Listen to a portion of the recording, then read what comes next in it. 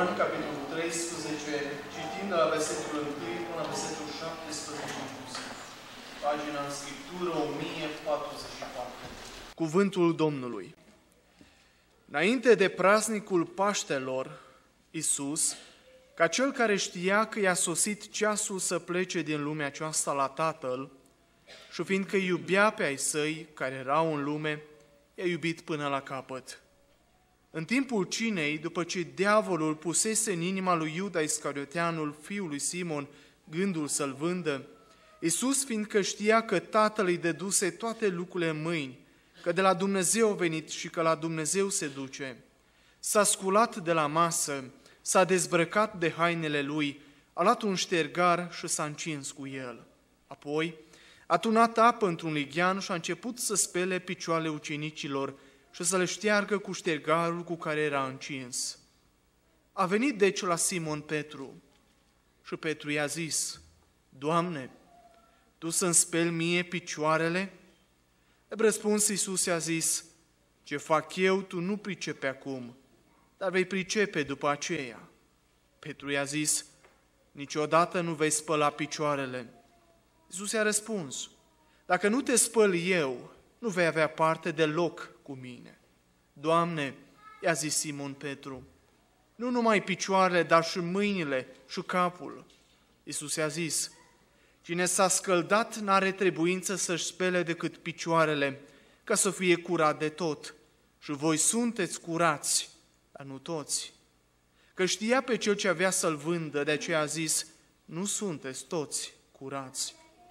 După ce le-a spălat picioarele, și-a luat hainele, s-a așezat iarăși la masă și le-a zis, Înțelegeți voi ce v-am făcut eu?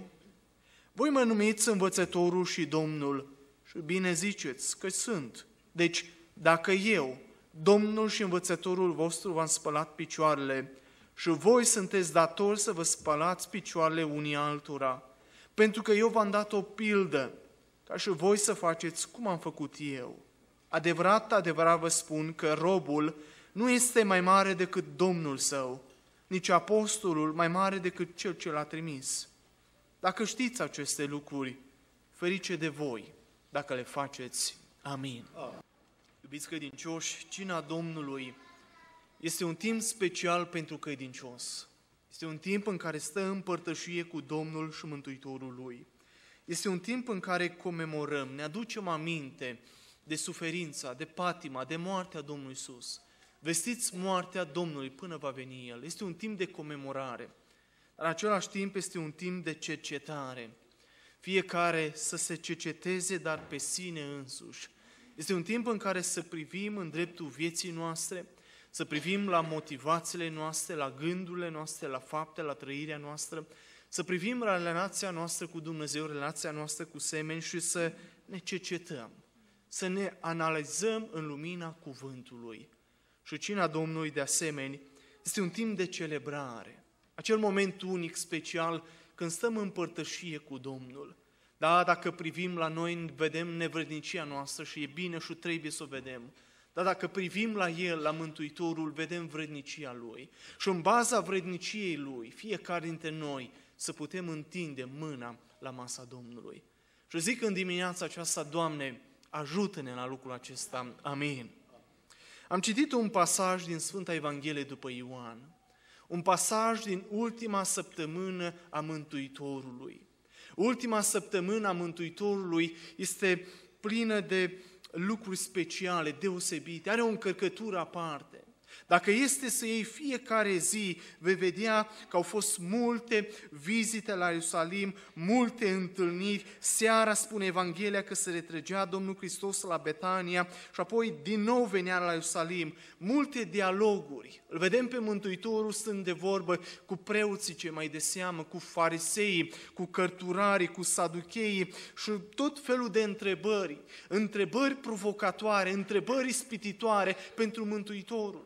Preoții ce mai de seamă vin la Mântuitorul și spun cu ce putere faci tu lucrurile acestea și cine ți-a dat puterea aceasta? Fariseii vin și ei cu o întrebare, spune, dar ce crezi, se cade să plătim bil cezarului sau nu? Saducheii vin și ei la Mântuitorul, la înviere, nevasta căruia din cei șapte va fi ea, fiindcă toți au avut-o de nevastă. Cărturare, învățătorule, care este cea mai mare poruncă din lege?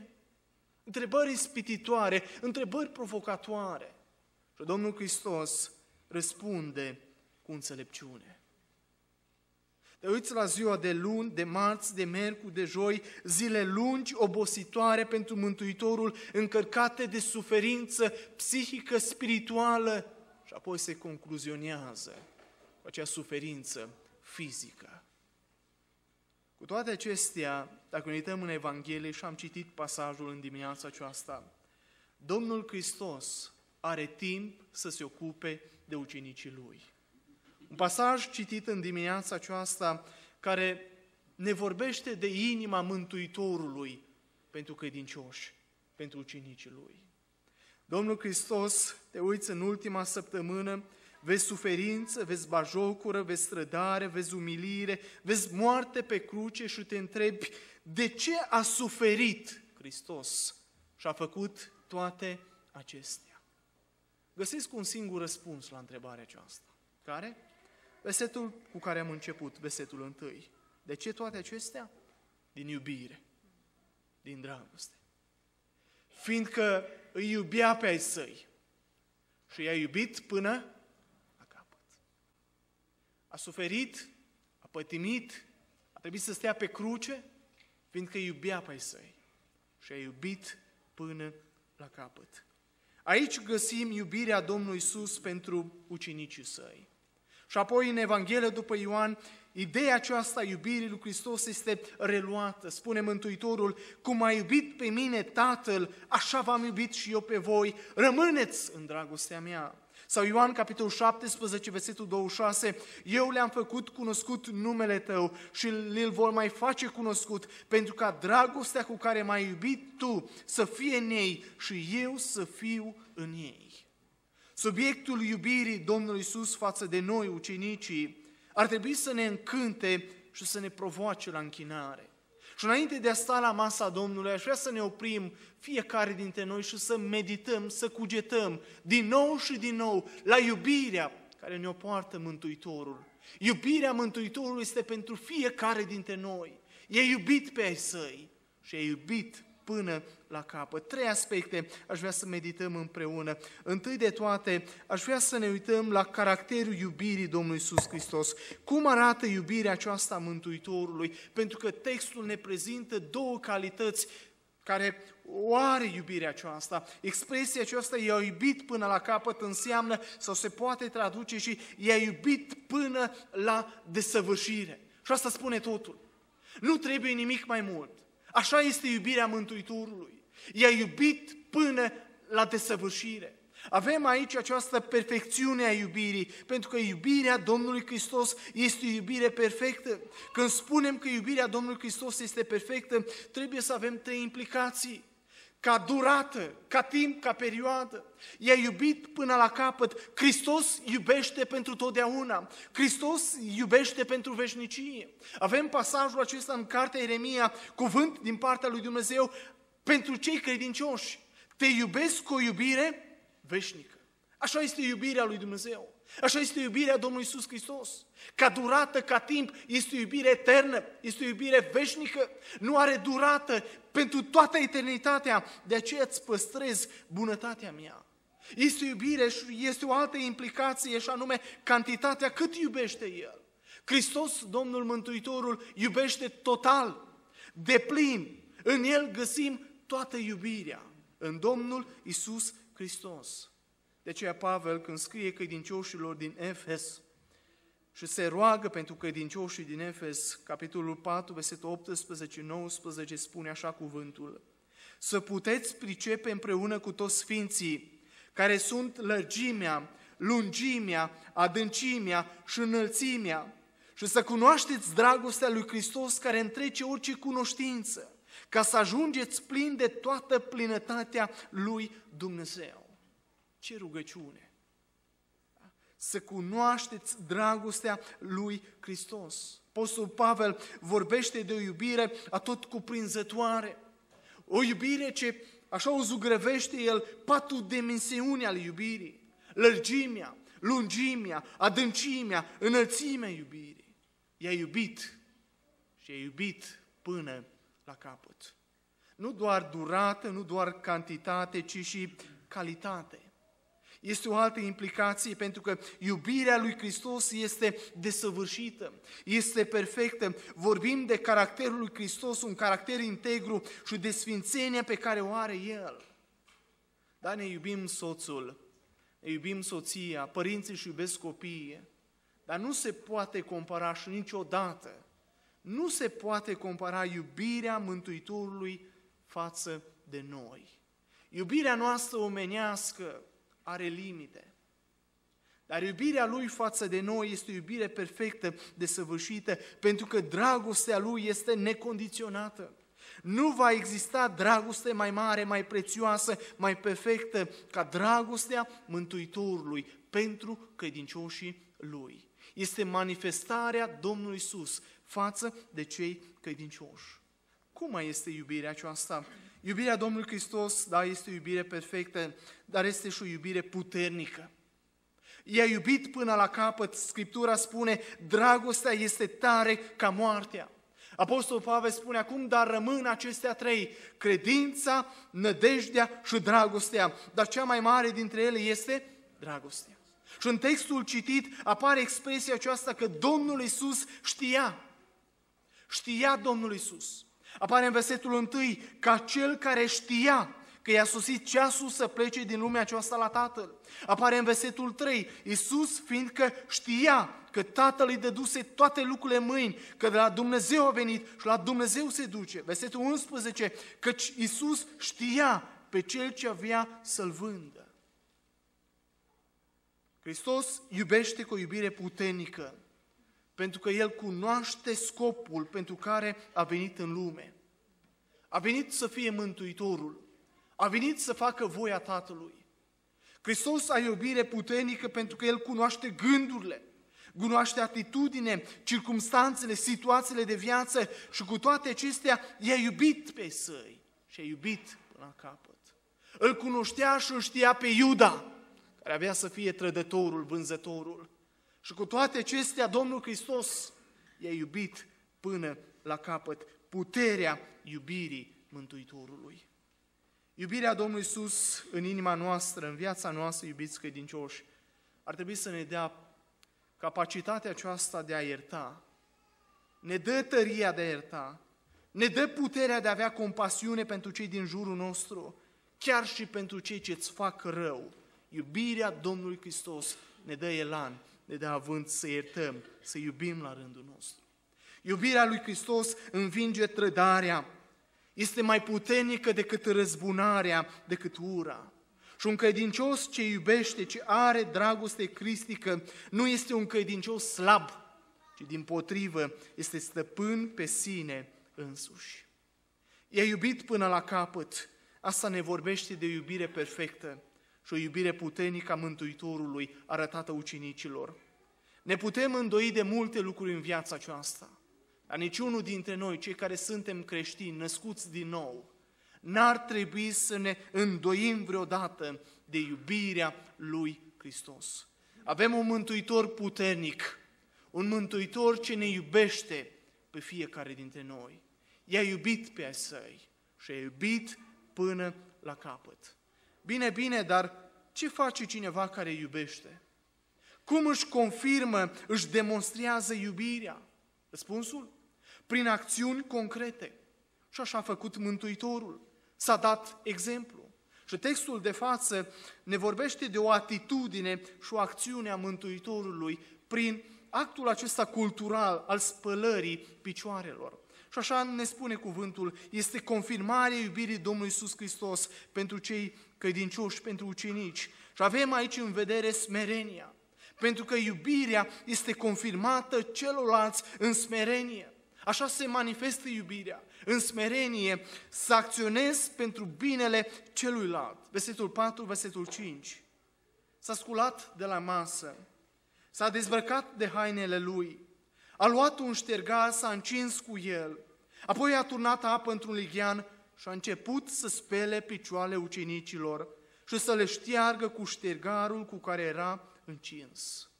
Dramatismul acestei situații se observă prin folosirea acestor verbe active. Observați? Se scoală, se dezbracă, se leagă cu, cu ștergarul, toarnă apă și începe să spele picioarele ucenicilor. Evident, pasajul Scripturii ne vorbește de un obicei, de un obicei evresc cultural. Și ar trebui să înțelegem contextul vremii, să înțelegem și Scriptura. Spălarea picioarelor se făcea la intrarea în casă. Mult praf, impurități, clima foarte aridă în Israel și așa era obiceiul să-ți arăți ospitalitatea. Vroiai să fii un ospitalier bun, trebuia să speli picioarelor musafirilor, invitațiilor tăi. Se făcea de obicei la începutul mesei. Și de asta suntem în camere de sus, unde Domnul Iisus are părtășie cu ucenicii și apoi urma masa Domnului. Găsim lucrul acesta în Luca, capitolul 7, versetul 44. Fariseul Simon este cel care îl invită pe Hristos la masă. Și acolo vine o femeie păcătoasă. O femeie care cu lacrimile ei spală picioarele Mântuitorului și cu părul ei îi șterge picioarele. Și cuvânt, și Hristos are un cuvânt pentru Simon și spune, era de datoria ta, pentru că tu m-ai invitat, tu ești gazdă. Și n-ai făcut asta. Și o femeie păcătoasă, stricată în ochii oamenilor, arătându-și afecțiunea față de Mântuitor. Spălarea picioarelor, de asemenea, era o muncă umilitoare. Era dedicată robilor, sclavilor. Era făcută de supuși. Robul trebuia să o facă când veneau oaspeții. Și ce face Hristos? Ce face Mântuitorul? Cum își confirmă El iubirea pentru ucenicii Lui? Se dezbracă de haina Lui, își păstrează numai cămașa, tunica purtată direct pe corp, ia un ștergar, se încinge cu el, acest ștergar se lega asemenea unui șorț în jurul mijlocului atunci când se dorea să se spele și să șteargă picioarele unui om. Și începe Domnul Hristos să spele picioarele ucenicilor. Hristos își confirmă iubirea prin această atitudine de smerenie. O smerenie manifestată în dragoste, i-a iubit până la capăt. De ce Apostolul Pavel spune, el măcar că era, avea chipul lui Dumnezeu, totuși n-a crezut ca un lucru de apucat să fie deopotrivă cu Dumnezeu, ci s-a dezbrăcat pe sine însuși și a luat un chip de rob, făcându-se asemenea oamenilor. Dimineața aceasta vă invit pe fiecare dintre dumneavoastră să privim la Hristos. Să vedem smerenia Lui, să vedem dragostea Lui manifestată și apoi să privim la noi. Cine sunt eu? Cine suntem noi în relația cu El? Găsit o meditație, aș vrea să o împărtășesc împreună cu dumneavoastră. Duce un mesaj extraordinar. Viața lui Hristos în Evanghelie a fost o viață de renunțare totală la poziția sa regală. El s-a limitat pentru mântuirea noastră, pentru răscumpărarea noastră. Meditația spune așa, fiindcă omul căuta locul cel mai de sus, Hristos l-a luat pe cel mai de jos. Fiindcă omul dorește să fie precum zeii, Hristos s-a făcut om și încă prunc Fiindcă omul tânjește după locuințe somptuoase, el nu avea unde să-și pună capul și a pornit în viață dintr-o iesle. Fiindcă omul luptă din răsputeri să se îmbogățească, el, Hristos, s-a făcut sărac.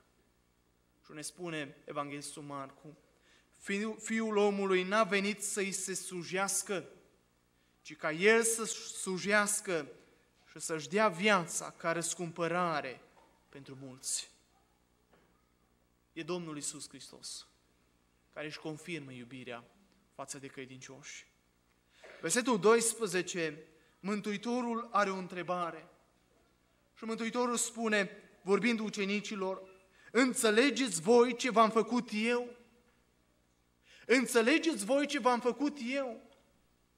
De multe ori ne este atât de greu să ne coborâm, să ne smerim, Ne uităm poate la statutul nostru, poate ne credem cineva, ne credem mari, ne credem tari, dar fără Hristos suntem pierduți. Nu avem nicio valoare fără de Domnul nostru Isus Hristos. Dacă Domnul Isus Hristos s-a smerit cu atât mai mult, ar trebui să o facem fiecare dintre noi. Dacă ne e greu să ne smerim, trebuie să ne ridicăm câteva semne de întrebare cu privire la iubirea noastră față de Mântuitor, față de semenii noștri. Spălarea este acțiunea, iubirea este confirmată celorlalți prin spălare, înseamnă să acționezi pentru binele celuilalt. Versetul 7, versetul 8 și de la versetul 6 la versetul 10 este acest dialog între Simon Petru și Domnul Isus Hristos. Versetul 6, Petru i-a zis, Doamne, Tu să-mi speli mie picioarele? Ce întrebare spune, ridică Petru. Și probabil în mintea lui Petru, Domnul ca rob, Rabunii ca Salahor, Mesia cu Ligianul, împăratul ca scaf, cel care tocmai a fost uns și primit cu o sanale, acum ca unul care îngenunchează încins cu un ștergar ieftin, nu se poate. Este inimaginabil. Doamne, Tu să-mi speli mie picioarele? Versetul 7, Hristos răspunde. Ce fac eu, tu nu pricepe acum, dar vei pricepe după aceea. Spuneam de acel obicei al vremii, un obicei cultural, spălarea picioarelor în mod fizic, dar Hristos, prin ceea ce a făcut, voia să transmită și un adevăr spiritual. Hristos vorbea de spălarea spirituală, spălarea de păcate pe care avea să o realizeze. De ce versetul 8 spune, Domnul spune lui Petru, dacă nu te spăl eu, observați accentul cade pe Hristos, nu vei avea parte deloc cu mine. La fel pe Hristos, Hristos este Cel care realizează această spălare, care are beneficii binecuvântate. Versetul 9, versetul 10, Doamne, a zis Simon Petru, nu numai picioarele, dar și mâinile și capul. Iisus a zis, Cine s-a scăldat n-are trebuință să-și spele decât picioarele, ca să fie curat de tot. Și voi sunteți curați, dar nu toți. Versetul 10 este încadrat de comentatorii Bibliei în rândul pasajului celor mai controversat exegetic din Evanghelie după Ioan. Un verset care dă bătăi de cap. Și s-au dat de-a lungul timpului multe interpretări pe marginea versetului 10. După unii, scăldatul, baia, da, ceea ce a făcut Mântuitorul, s-a referit la baia de curățare pe care ucenicii au făcut-o înainte de praznicul Paștelui. Acum ar mai trebui numai să se facă spălarea picioarelor. Alții vin și spun, Iisus a polemizat aici împotriva obiceiului iudaice sau sectante, de care ucenicii nu ar mai avea nevoie. Alții vin și spun, scăldatul s-a referit la botez, spălarea picioarelor la cină. Alții vin și spun, scăldatul s-a referit la botez, spălatul picioarelor s-a referit la actul acesta al smereniei, al pocăinței. Așadar, cum să înțelegem versetul 10? Cheie de înțelegere este Scriptura, pentru că Scriptura se tălcuiește, se tălmăcește cu Scriptura. În Vechiul Testament a spăla înseamnă curățarea de păcate. De asta când David se roagă, spală-mă cu desăvârșire de nelegiuirea mea și curățește-mă de păcatul meu. Ideea de curățire, de a îndepărta păcatul fără de legea. În Ezechiel, capitolul 36, versetul 25, spune cuvântul Domnului, vă voi stropi cu apă curată și veți fi curățiți. Vă voi curăți de toate spurcăciunile voastre și de toți idolii voștri. Observați, textele acestea ne vorbesc că Dumnezeu însuși va face această lucrare în viacul mesianic. Cu ce o face? Ioan, capitolul 15, versetul 3, Iisus spune, Acum voi sunteți curați, observați, din pricina cuvântului pe care vi l-am spus. Cuvântul proclamat, cuvântul primit, acceptat prin credință, este cuvântul salvator, care duce la pocăință. Și cine s-a pocăit și a intrat în ucenicia lui Isus este spălat în sensul lui Ioan 13 cu 10. Pe lângă spălarea aceasta spirituală principală de bază, Hristos mai vorbește și de o spălare periodică, curățarea zilnică a celor care s-au pocăit deja, așa nume, pe baza morții spășitoare a Domnului Isus Hristos. Versetul 11. Că știa pe cel ce avea să-l vândă, de ce a zis, nu toți sunteți curați. De asta vorbește Hristos. Hristos știa pe cel ce avea să-l vândă. Iuda n-avea spălarea. Spălarea principală, ci doar pe cea de pe picioare. Hristos își manifestă și confirmă iubirea pentru ucenicii săi prin această atitudine de smerenie și prin această acțiune de spălare. Este o imagine a curățirii spirituale de păcat, pentru că nu e așa. Sângele lui Iisus Hristos ne curățește de orice păcat. Dar, în final, la ce ne cheamă această iubire a Domnului Iisus Hristos?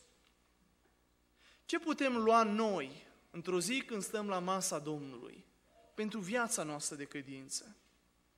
Ce concluzie rezultă din spălarea picioară? Cum cere Domnul Hristos ucenicilor să aplice iubirea Lui? Observați, versetele acestea nu sunt la întâmplare, versetul 12. Înțelegeți voi ce v-am făcut eu?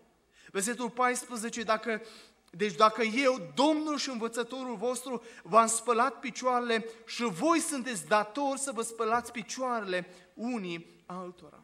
Ucenicii trebuie să înțeleagă sensul acesta, înțelegeți voi. Spălarea picioarelor nu este ritual, practică, ci poartă un mesaj, un sens, și anume iubirea celuilalt. Iubirea celui de lângă noi. Hristos, prin iubirea Lui, dorește ca ucenicii să aplice porunca iubirii. Și voi sunteți datori, spune Mântuitorul, să vă spălați picioarele unii altora. Iisus este cel care stabilește chiar că aceasta este obligația ucenicilor. Voi sunteți datori. Aceasta nu este dacă vrei sau nu vrei, vrei să-l iubești pe fratele tău, nu vrei să-l iubești pe fratele tău, este de datoria ta, pentru că este socotit ca fiind fratele tău. Datoria lor cuprinde dragostea unii față de alții. Această curățare reciprocă este forma iertării reciproce și disponibilitatea de a efectua cea mai umilă muncă unii față de alții. Și așa este. De ce să nu recunoaștem? Când vrei să-l iubești pe fratele tău, nu-ți vine de la sine. Trebuie să te implici acolo. De multe ori s-ar putea să te smerești, să te umilești, pe fratele meu să-l iert, eu știu ce mi-a făcut. Să-l iert și te zdrobești în tine însuți și te smerești, te umilești. Iubirea, sujirea nu sunt opționale, ci sunt porunci pentru cel credincios. Dacă este să ne uităm în Noul Testament, tema aceasta a sacrificiului, a iubirii, a smereniei, predomină în Noul Testament. Pentru că asta e baza reală a vieții unui creștin, a unui credincios. Hristos ne cheamă la pilda Lui, așa cum a făcut-o El, dacă El e Domnul, dacă El e superiorul, dacă El este învățătorul nostru, la fel suntem chemați să practicăm iubirea aceasta. Fiecare dintre noi suntem egali, fiecare dintre noi suntem colegi, în lumina cuvântului suntem robi și trebuie să ne iubim așa cum ne-a lăsat model Domnul și Mântuitorul nostru. I-a iubit pe ai săi și a iubit până la capăt. Și observați produsul iubirii este această fericire, această împlinire lăuntrică. Versetul 17 ne spune, dacă știți aceste lucruri, ferice de voi dacă vorbiți de ele. Așa. Dacă le faceți. Nu doar cunoaștere, ci o trăire a iubirii. Este calea spre fericire. Iubirea cristică se dăruiește, găsește împlinire sufletească. Vezi că și în prag de cina Domnului, cred că este indicat, înțelept, să ne testăm fiecare dintre noi iubirea față de Hristos, de Mântuitorul nostru drag. Și cred că este indicat să ne testăm iubirea față de semenii noștri, față de frații noștri în credință. Domnul Iisus iubea pe săi, i-a iubit până la capăt. La Domnul Iisus Hristos nu vezi simpatii, la Domnul Iisus Hristos nu vezi o dragoste condiționată, Domnul Iisus Hristos nu vezi o dragoste care să aibă interes, nu, ci o iubire sacrificială. S-a dat tot pentru ucenicii lui, pentru credincioși. Te uiți la Domnul Isus Hristos și îl vezi că nu se gândește la sine. Hristos se gândește la ucenici și a acționat pentru ei. Și prin aceasta a pus un semn de neștes pentru toți oamenii care vor vrea vreodată să devină ucenicii Lui. Din dragoste, Hristos a venit la tronul Tatălui. Din dragoste, Hristos a revelat voia lui Dumnezeu. Din dragoste, Hristos i-a inițiat pe ucenici în planul de mântuire a lui Dumnezeu. Din dragoste, Hristos, atât pentru Tatăl, cât și pentru oamenii pierduți, a stat pe cruce și a vărsat sângele pentru mântuirea, răscumpărarea noastră eternă. Cum asta? Din dragoste. Și dragostea este o responsabilitate și o moștenire pentru ucenici. Domnul Iisus Hristos spunea tot în capitolul acesta ultimele două versete. Versetul 34, versetul 35, vă dau o poruncă nouă, să vă iubiți unii pe alții cum v-a iubit eu. Așa să vă iubiți și voi unii pe alții. Prin aceasta vor cunoaște toți că sunteți ucenicii mei, dacă veți avea ce? Dragoste unii pentru alții.